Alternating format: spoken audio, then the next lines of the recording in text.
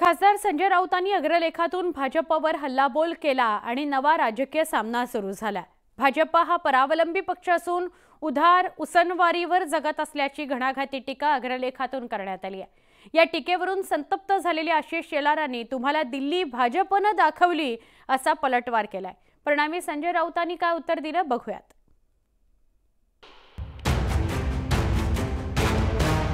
आताच्या उभाटाला दिल्ली सुद्धा भाजपने दाखवली आहे. आणि त्यामुळे काहीतरी बदलायचं काहीतरी लिहायचं ही शेवटची घरघर आहे. आणि शेवटची घरघर आवाज करतेच. भारतीय जनता पक्षामध्ये सध्या अंतर्गत टोळीयुद्ध सुरू आहे आणि लवकरच त्या टोळीयुद्धाचा भडका उडणार. संजय राऊत आणि आशिष शेलार यांच्यात मागील काही दिवसांपासून सातत्यानं चकमकी घडत आहेत सामन्यातल्या अग्रलेखावरून नव्या लढाईला सुरुवात झाली आहे.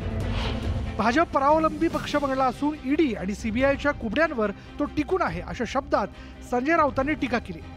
कोणाला फेकायचं आणि कोणाला डोक्यावर घेऊन नाचायचं हे जनता ठरवत असते. ईव्हीएम ईडी सीबीआयचा वापर करून स्वतःचा पक्ष सुजवणारे ठरू शकत नाही. अशा जळजळीत भाषेचा वापर राऊतांनी अग्रलेखातून केलाय. ज्या पक्षाला संजय राऊत बांधील आहे म्हणतात त्या उभाटाला सुद्धा आताच्या उभाटाला या बांडगुळांना या बांडगुळ पक्षांना दिल्लीसुद्धा भाजपने दाखवले आणि त्यामुळे काहीतरी बदलायचं काहीतरी लिहायचं ही शेवटची घरघर आहे. आणि शेवटची घरघर आवाज करतेच. आणि त्यामुळे राऊत साहेब तुम्हाला आमचा सल्ला आहे.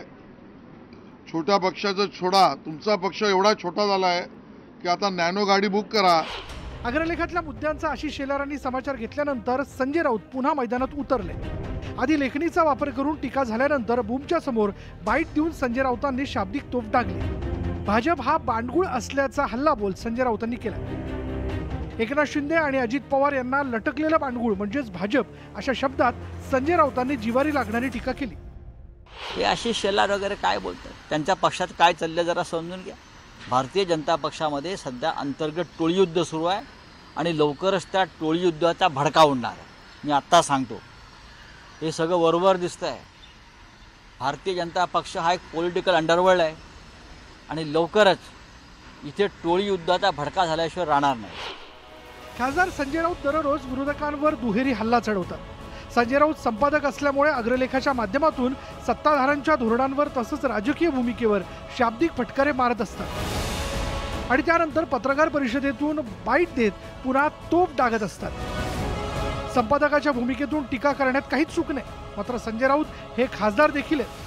आणि त्यामुळे त्यांनी सामनातून केलेली टीका हे संपादकीय नव्हे तर राजकीय भूमिकेतून घेतलेली भूमिका असल्यामुळे सत्ताधाऱ्यांकडून पलटवार केला जातो. मात्र संजय राऊत अग्रलेखातून टीका करणं टाळत नाहीत. परिणामी आशिष शेलार ही सडेतोड उत्तर दिल्याशिवाय राहत नाही bureau report news eighteen Lokmat.